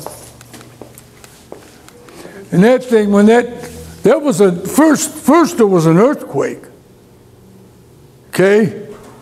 And then there was this tsunami. And they, look, they had no warning. None. People were on the beach and stuff when that thing hit. Do you understand? And he said, I will come as a thief in the night. Look, the point is the, the devil, he cast this flood out of his mouth. Now, the flood is bad doctrine. That's what it is. And these physical tsunamis in the earth plane are a manifestation of the bad doctrine that's being taught in the school, let, let alone the world. The junk that's being taught in the world, we know that. The devil's not going to get anybody with that.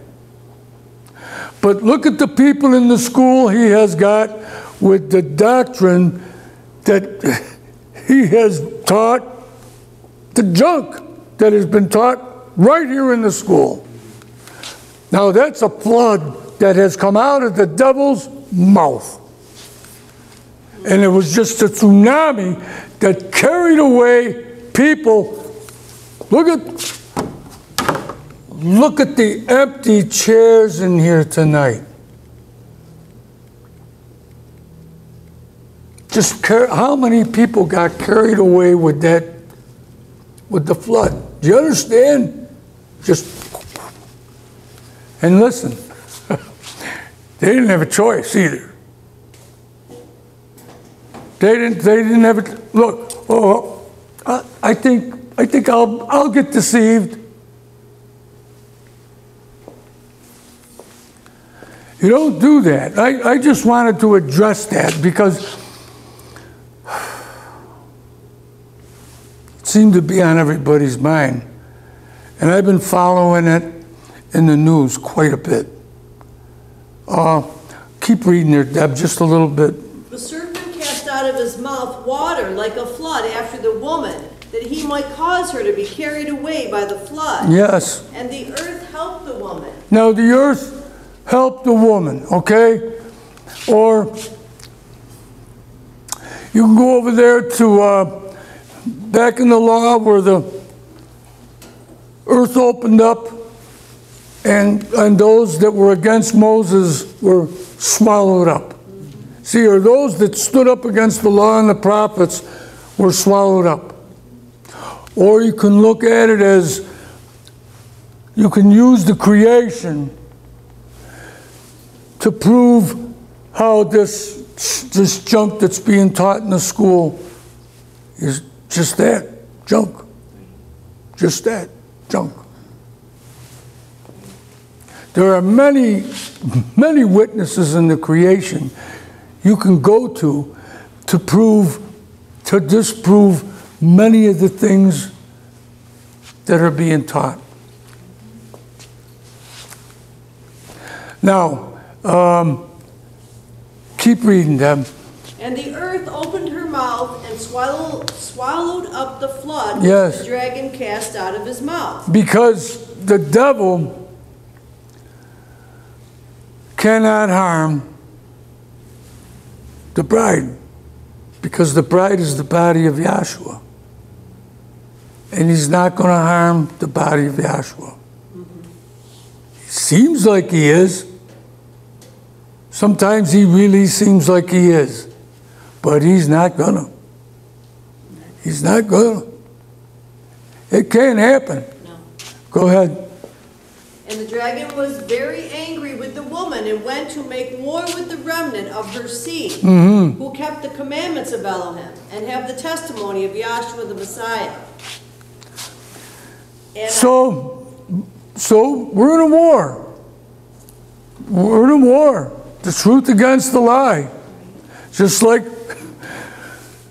our government is in a war with many people. The truth against the lie. And there's a lot of lies being taught. And we're trying to teach the truth. Now, um, some of you were not here uh, when uh, I addressed Terry Welsh's eight page synopsis that he had done there on choice Accountability. and accountability and um, worked with it and showed how all the, the list that he had there of all those references from transcripts from the law and the prophets and all, all that was it was all fine but he he was not he wasn't using it in the in the in the confines of the purpose. And uh,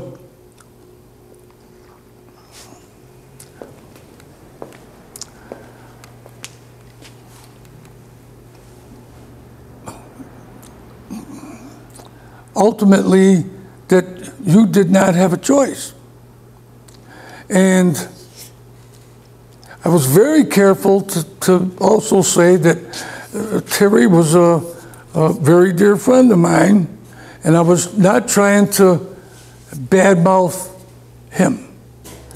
I just uh, disagreed with what he had written in the thing there, you know? Well, this was on camera, and uh, he saw it, and he called me. And uh, we had a long discussion for about an hour and a half. And he, he told me that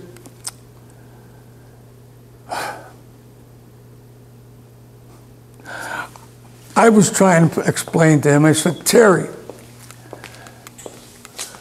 I went here with Adam and Eve. I said, if Eve doesn't partake of that fruit, and if she doesn't give it to Adam and he doesn't partake of it, they don't fall from heaven.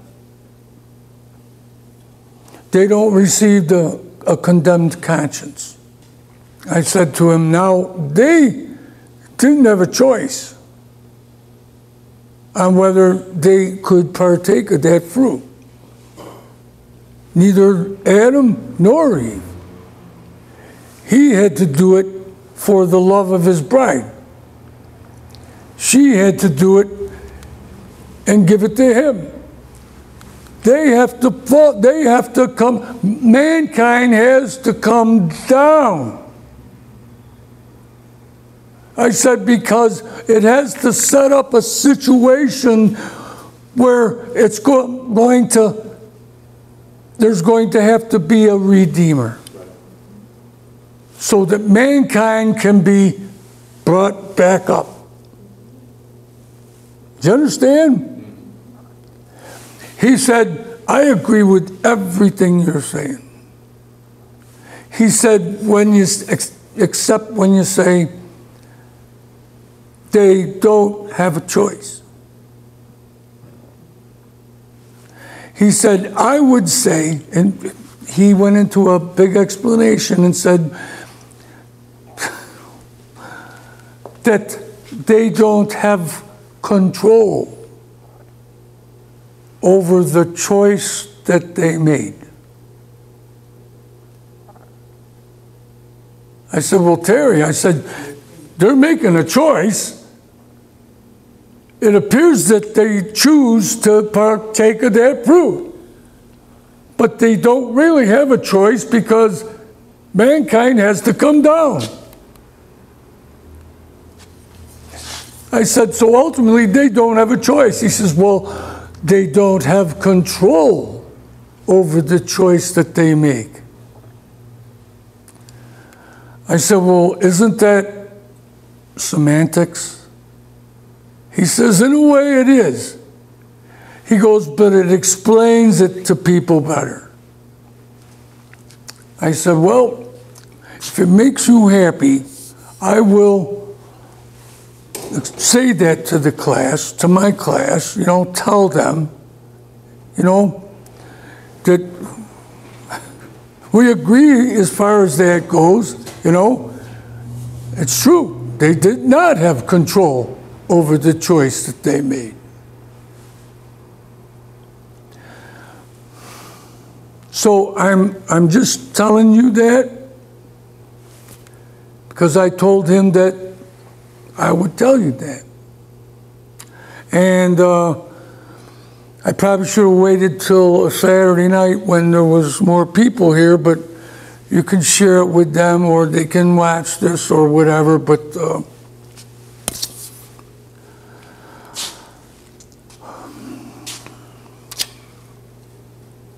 since then, I've heard that um,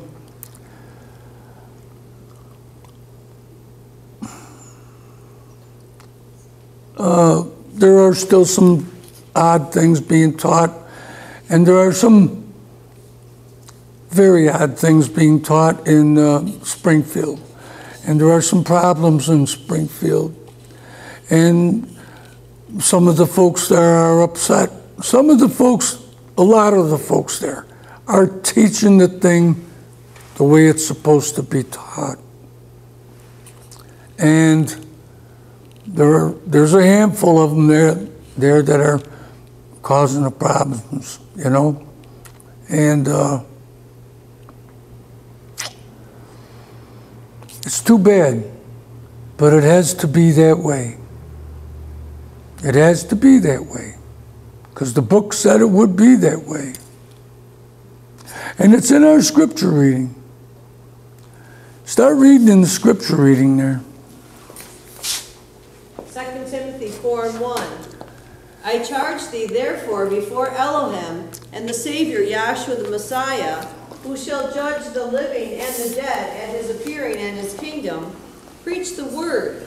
Be diligent in season and out of season. Now, in season and out of season means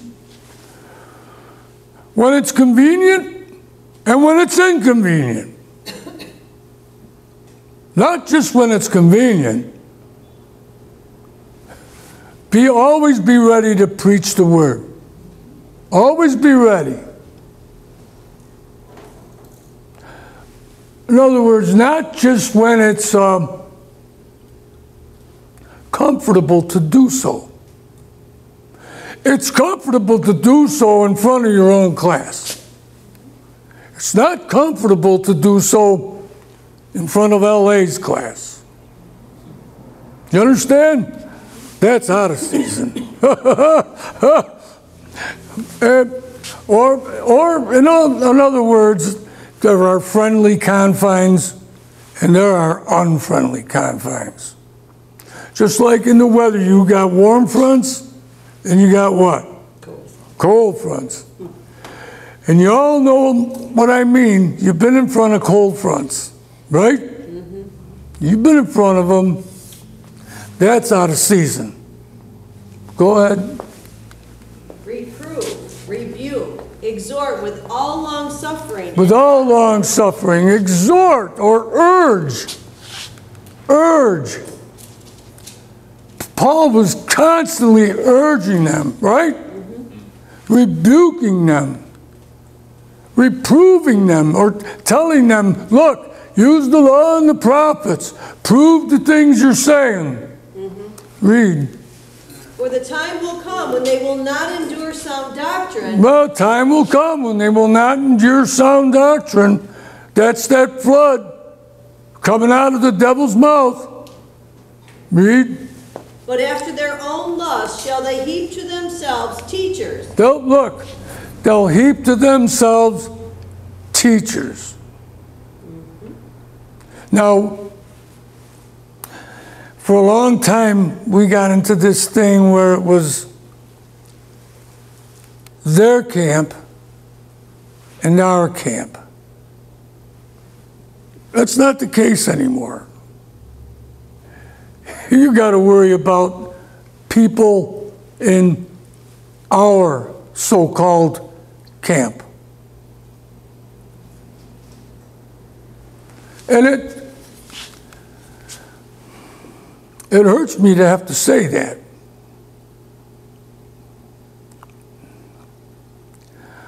But there's another place in there where it says, ah, um, mark them that cause divisions. Uh, You're not talking about Ezekiel 9, are you? No, not Ezekiel. Mark those that cause divisions.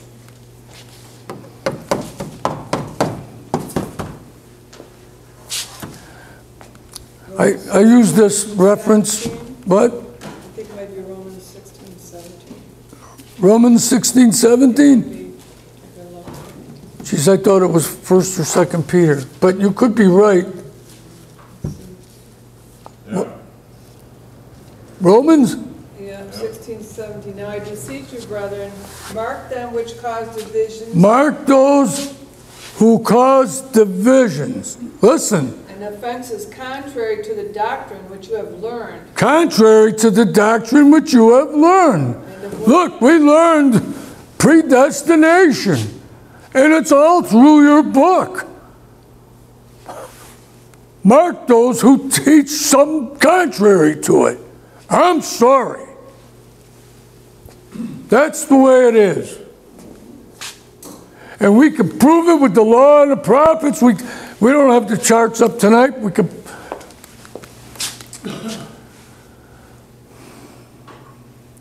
There isn't anything, there isn't anything that isn't preordained.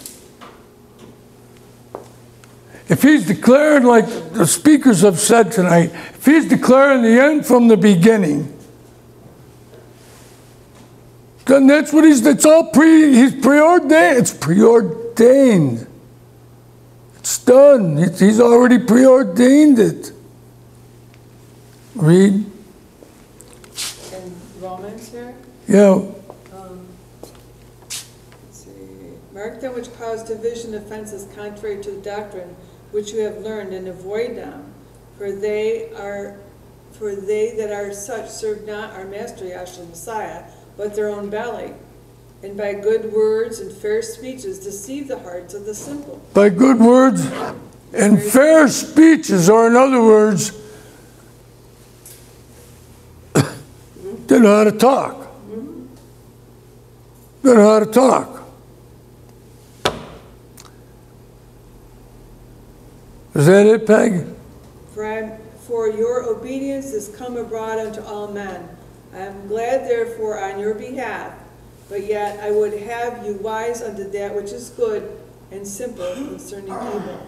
Good and simple. Simple. The simplicity that's in Yahshua the Messiah. I'll go back, Deb, to the scripture. Preach the word, be diligent in season, out of season. Reprove, rebuke, exhort with all long suffering and doctrine. For the time will come when they will not endure sound doctrine, but after their own lust shall they heap to themselves teachers, having itching ears. And they shall turn away their ears from the truth, They turn away their ears from the truth. and shall be turned unto fables. Fables. What are fables? Untrue story. Stories. Uh, like um, the Grimm brothers. Remember the Grimm brothers? They did all those fairy tales. The- Aesop, Aesop, Aesop's fables? The Grimm brothers?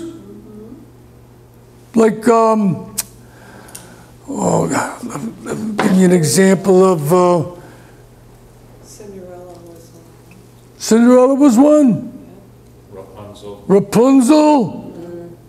Um, the, Jack the Giant Killer. Yeah. Jack and the Beanstalk. Jack the Giant Killer was a fable. oh, Jack and the Beanstalk. I liked that one when I was a. Kid. Jack and the Beanstalk. Yeah. Oh, They were haunted by giants, and one day Jack killed seven flies oh, at one time. And he said, I got seven of them. And it blew into a story where he was Jack the Giant Killer because he thought he killed seven giants. oh, Now, Jack and the Beanstalk may have come from that. oh. Well, okay. now, uh, I'm thinking of uh, the kid and his sister that were in the forest and the witch. Hansel and Gretel. Hansel and Gretel. See, that's a, that's a fable. These things were all fables. They were told to kids to scare them so they would behave in the Middle Ages and stuff. You know what I mean? They were made up into to scare kids so they would be good, so they wouldn't be naughty.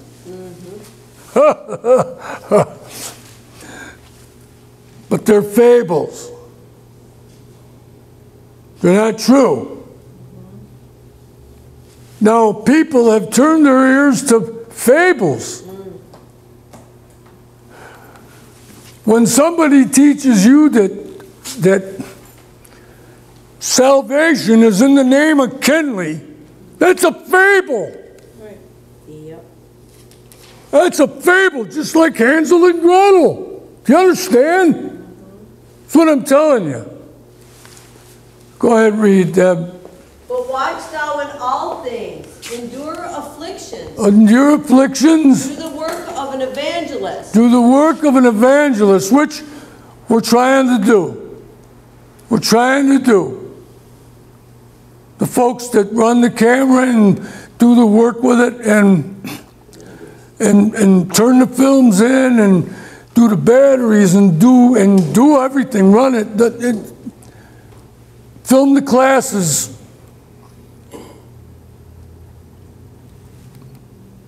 Doing the work of evangelists. It's all good. It's all good. Read, please. Make full proof of thy ministry. For I am now ready to be offered, and the time of my departure is at hand. Who is this speaking, Deb? Paul, This is Paul. He's ready to go where? to die. He's ready to die.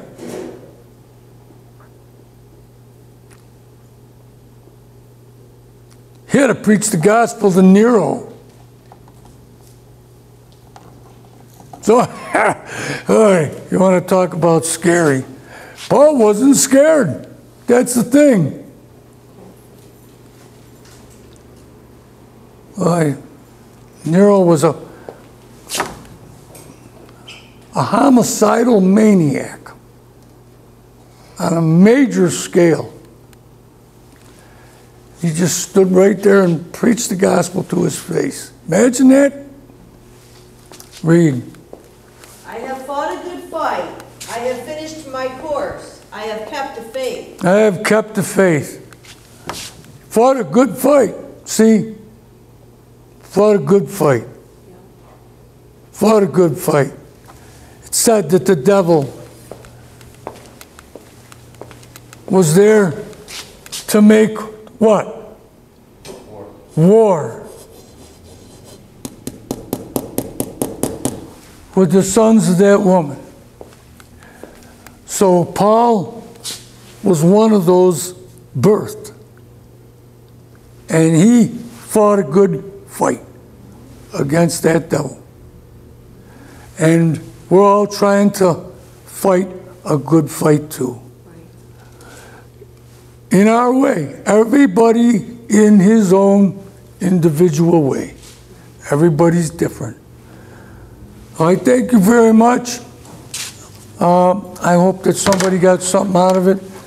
And uh, I had just planned to get up for five minutes or so, and all praise be to Yahshua the Messiah. Turn back with the moderator.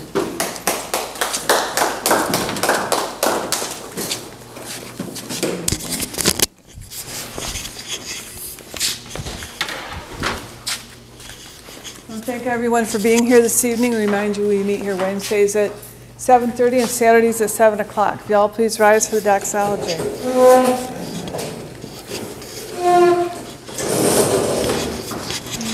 And now unto Yahshua, who alone is able to keep us from falling and to present us faultless before the presence of his glory with exceeding joy, to the only wise Yahshua, our Savior, belongs glory and majesty, dominion and power, both now and for all time. So I'll say, Hallelujah.